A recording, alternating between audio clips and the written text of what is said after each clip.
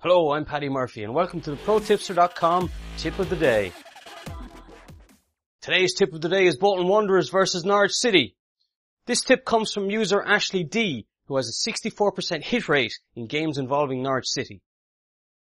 Bolton are in big trouble at the minute. They're two points adrift at the bottom of the table, so they've got a lot of catching up to do, and their home record is pretty atrocious as well. They've only scored three times so far at home this season, and have conceded 14 goals. Norwich, on the other hand, are in pretty good form away from home. They've won four out of their previous five away games, and they've only conceded one goal. Our tip then for this match is for Norwich City to win at 1.96. For more great tips, go to protipster.com and subscribe to our YouTube channel as well, where you'll get daily tip videos, previews, and podcasts as well. I've been Paddy Murphy. Good luck.